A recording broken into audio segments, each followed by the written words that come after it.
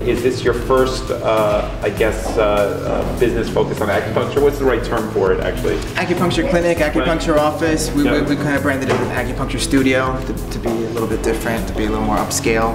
Um, I was down at Base Gym for Yep. almost three years. Doing um, acupuncture. doing acupuncture in their spa. So um, after uh, a little over two years, their spa kind of grew and my patient base grew, so it was time to look for a new space. Why would Almost somebody? everybody. Why would somebody use acupuncture as opposed to, let's say, like just a regular massage?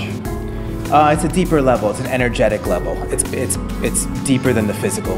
It's more in the energetic. Um, so it's, it corrects imbalances on that on the on the energetic level, and it's a, it's like a longer, uh, deeper healing, a longer, more measurable, deeper healing. It's not just a quick fix.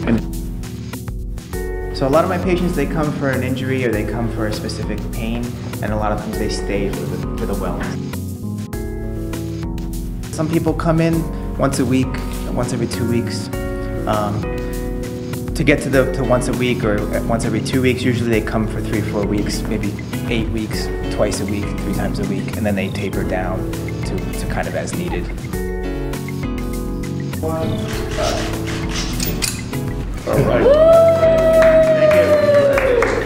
Congratulations, guys. Congratulations. Congratulations. Thank you so much. That looks great. Thank you. Thank Looks great. You. Yay, that was Yeah. exciting.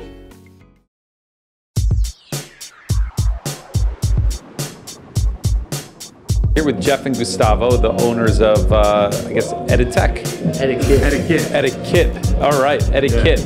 And uh, the address is 335 Grove Street. 335 Grove Street. And uh, so tell us a little bit about what is Etiket. So Etiket uh, just came together based off of our backgrounds and our experience in barbering. You know, we uh, we both have a lot of experience barbering, um, and we wanted to bring it to Jersey City. I've been in Manhattan for a long time doing higher end barbering and just really quality cuts. Um, my exposure with fashion and you know working with men in lifestyle, we wanted to kind of fuse that all together and be able to bring a barbershop with apparel, accessories, home goods, and full quality barbering This is your first uh, kind of barbershop. This is my second store that I've done, um, but this is the first of its kind.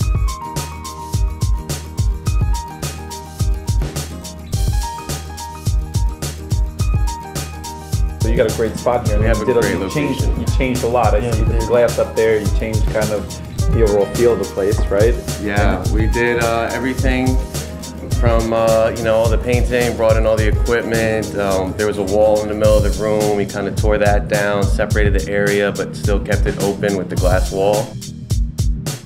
And how many how many barbers do you have working here? So my staff actually consists of about six barbers. Okay. Um, I have a couple part, uh, full-time barbers and several part-time barbers that are just coming in on different days. So we sh- will be open seven days a week, Wow. uh, Monday through Friday, um, nine to nine, and weekends nine to six.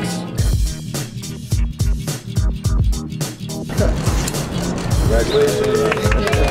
Thank you. Thank you. Congratulations to you. Congratulations. Thank you. Pleasure.